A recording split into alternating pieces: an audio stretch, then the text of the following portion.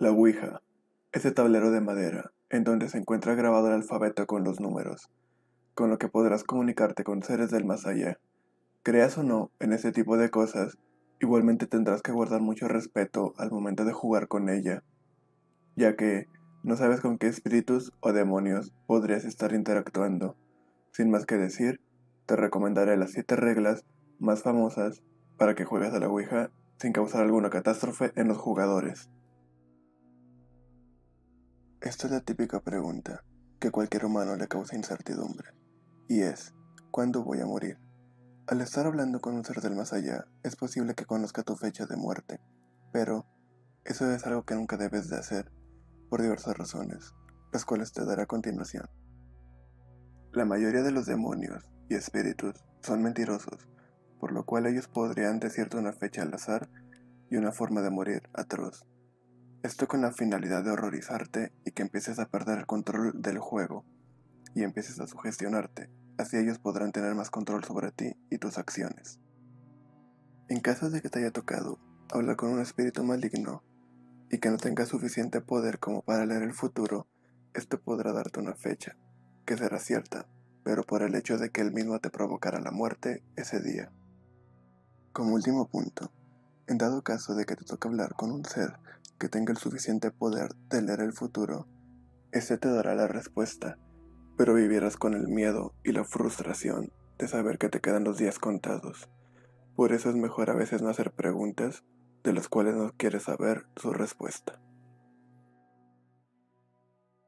En un principio podría parecerte la mejor idea, pero nunca juegues en un cementerio. Cuando juegues en uno, puede que haya muchas almas interesadas en comunicarse contigo y es que puede haber de todo, desde espíritus inofensivos hasta algunos malignos y enojados por estar muertos. Por eso es que jugar en un cementerio no es de las mejores opciones. Cabe destacar que nunca se sabe con qué tipo de espíritu te topes, pero siempre ten en cuenta que nunca sabrás cuáles son sus verdaderas intenciones. Y es que en el mundo de los espíritus existen jerarquías, en donde los que tienen mucho poder son los que ya han estado atrapados por muchos años en el limbo, por lo cual estos pueden quitar a los espíritus menos fuertes de la Ouija en un simple abrir y cerrar de ojos. Recuerda ser respetuoso y educado. Nunca dejes la sesión de juego sin despedirte y sin que el espíritu se despida también. Muchas veces, por el terror o por la paranoia, dejamos la sesión sin despedirnos y esto es un gran error que podría costarte la vida o que podría echarte de tu casa, ya que al no despedirnos cabe la posibilidad de que el espíritu se quede en la tabla o que el espíritu se libere ya que el portal no se ha cerrado correctamente. Esta es una regla muy valiosa y que siempre tienes que respetar.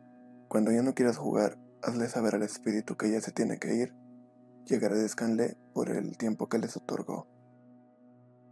En dado caso de que no se quiera ir y empiezan a ver que el espíritu se empieza a poner terco y a mover el apuntador hacia todos lados, deben insistir firmemente en que el apuntador se ponga donde dice adiós. Y si no, tendrán que comenzar a maldecirlo y hacerle saber que Dios se encuentra con ustedes y Él habita en sus hogares. Así es posible que se vaya de una manera pacífica o quizás un poco más complicada. Pero recuerden, el espíritu no tiene poderes de quedarse en sus hogares, a menos que ustedes se lo permitan. Así que tengan cuidado con todo lo que preguntan y responden. Bajo ninguna circunstancia juegue solo. No todos los espíritus son buenos. Nunca sabrás con quién te estás topando. Ten en cuenta que ellos no pueden poseerte a las primeras, a pesar de que suele ser difícil que tomen posesión tuya, si es posible pero primero debe haber una conexión entre la persona y el espíritu. Esto ocurre lentamente. Primero comenzará pidiéndote pequeños favores y se comportará de una manera muy amigable para poder ganarse tu confianza. Una vez que confías plenamente, comenzará a comportarse de una manera hostil. Ahora el espíritu posee la suficiente fuerza para hacer lo que quiera, y ya no necesitará de ti ni de la tabla.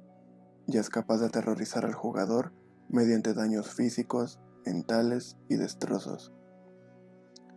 Todo esto para poder completar el objetivo de poseerte. Ahora puedes ver el por qué es importante jugar acompañado, ya que el espíritu no logra tener una conexión real con un grupo de personas. Como ya se había mencionado, los espíritus suelen ser mentirosos, así que estos intentarán hacer pasarse por algún conocido o familiar tuyo. Por eso es muy importante realizar un cuestionario para saber si estás hablando con el correcto. Recuerda hacerle preguntas que solo esa persona sabría. Analiza cada respuesta que te da, ya que puede ser un espíritu impostor y como siempre, el que tiene la respuesta de determinar si es realmente un conocido tuyo o no, eres tú. Así que cuidado a quien dejas que juegue contigo. Hasta cierto punto podrá sonarte innecesario, pero nunca está de más tener un kit de protección. La mayoría de las sesiones de juego siempre terminan dándonos una buena experiencia de suspenso y terror, pero siempre está la posibilidad de que se torne un poco más macabro el asunto. Por eso te recomiendo tener estas cosas a las manos, aunque es muy posible que todos contenemos algunas de estas en nuestras casas. Así como lo has visto en las películas, el crucifijo es capaz de atormentar a los demonios o espíritus malignos, así que siempre tenlo presente aunque sea de collar. Agua bendita. El demonio puede quedarse en tu hogar y atormentarlo, por eso debes tener agua bendita a la mano. Si notas que se torna agresivo el ambiente, esparce el agua bendita por todos lados. Con eso puede que logres ahuyentar su presencia. La Biblia. La palabra de Dios condena a Satanás y a todos sus súbditos. Recuerda solo tenerlos en un lugar cercano a ti, pero alejado de la tabla, ya que si intentas contactar a alguien, puede que fracases por el hecho de que todos los objetos podrían intimidarlo y no acercarse a jugar contigo. Considero que todas estas reglas son importantes, pero esta es una que nunca debes de romper, y es que por ningún motivo debes de un espíritu. Y ten cuidado con tus compañeros, ya que siempre hay un valiente que no cree y se le ocurre retarlo. Y puede que el espíritu se ofenda y tome acciones diversas como empezar a hacer notar su enojo por medio de tirar objetos cercanos y desobedeciendo lo que ustedes digan. Así que, mucho cuidado de tus compañeros, porque ellos pueden ser los causantes de que tu hogar se libere un espíritu indebido. Como te has dado cuenta, jugar a la Ouija es algo serio y que no debes de tomar a la ligera. Espero tomes en cuenta alguno de estos pasos al momento de jugar. Si el video fue de tu agrado, dale a like, suscríbete y sígueme en mis redes sociales.